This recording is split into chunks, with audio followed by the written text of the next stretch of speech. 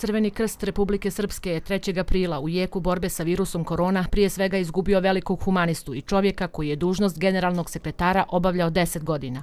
Njegovi saradnici istakli su da su u njemu na prvom mjestu vidjeli čovjeka sa kojim su u radu činili tim. Jer je on bio zaista čovjek koji se ne samo što se cijeni i poštovao, on se voli jer je bio dobar, nosio u sebi tu humanost, tu ljudskost i on je baš bio čovjek za crveni krst jer se u Crvenom krstu ne zadrže dugo oni koji nemaju tu crtu.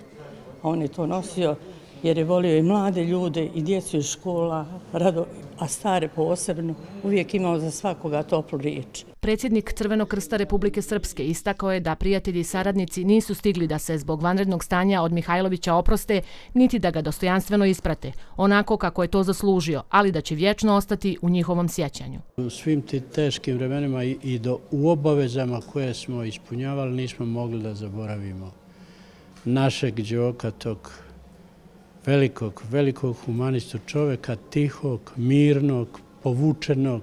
Jedan častan čovek, sigurno, zaslužan za mnogo šta, to znaju bolje ljudi ovde iz Semberije nego li ja iz Hercegovine. Danas smo ovdje okupljeni oko jednog tužnog događaja i sjećanja na najvećeg humanistu kojega sam inače upoznao iz reda Crvenog krsta i Republike Srpske.